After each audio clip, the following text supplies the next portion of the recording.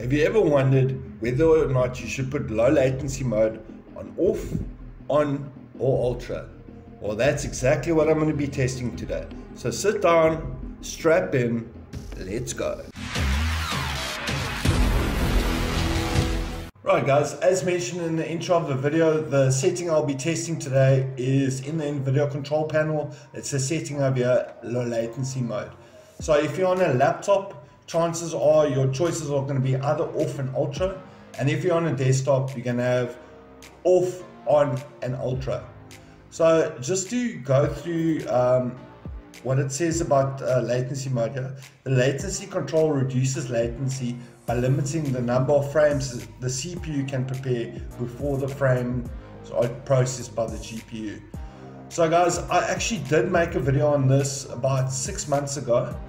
Uh, but just uh, uh, look, there have been a couple of Windows updates recently, which has changed the way certain Windows settings does uh, cause uh, performance to uh, to play out. So I'm redoing all my Windows settings videos.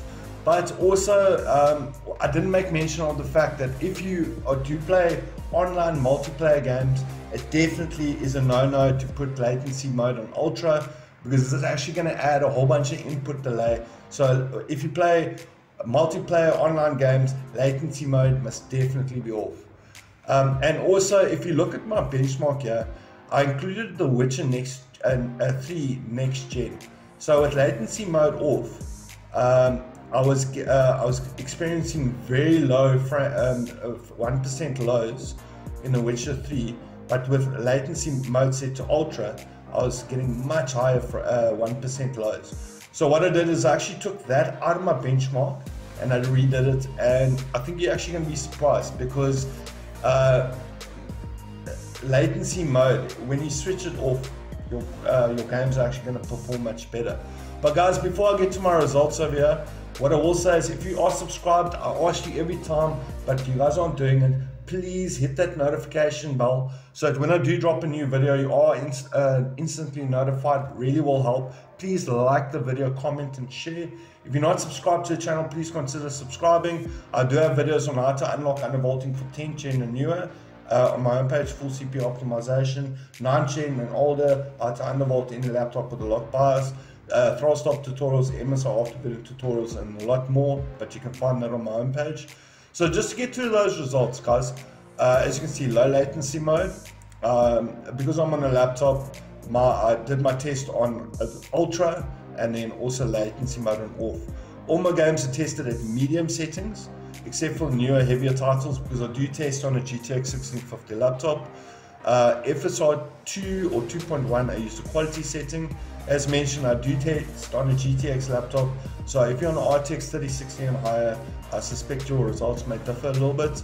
And then lastly, I had to load the latest driver. It's not the driver I really recommend. I had to load the latest driver because I had to renew certain videos. And then guys, just as mentioned earlier in the video, uh, The Witcher 3 is the only game that actually performs better uh, or uh, when you switch a low latency mode to ultra. So it is an outlier. When you uh, put a low latency mode off, uh, the 1% lows drop uh, dramatically to 21, whereas it's set to ultra, the low, uh, the, um, the 1% lows are at 63. So just to get to my results, low latency mode on ultra, uh, over 16 games, when I add up all the one, uh, all the average FPS, I get to 968. When I add up all the 1% lows, I get to 684. And then when I add up all the 0.1% lows, I get to 567. Then uh, going to the NVIDIA control panel, I set low latency mode to off. And then I restart my computer twice just to make certain that it really has applied. And then when I add up all the average FPS over those games, I get to 976. So you can see the, the average FPS is higher with latency mode off. And then when I add up all the 1% lows, I get to 690. So not a massive big jump uh, from Ultra, but there is a, a noticeable uh, little bit more improvement in stability.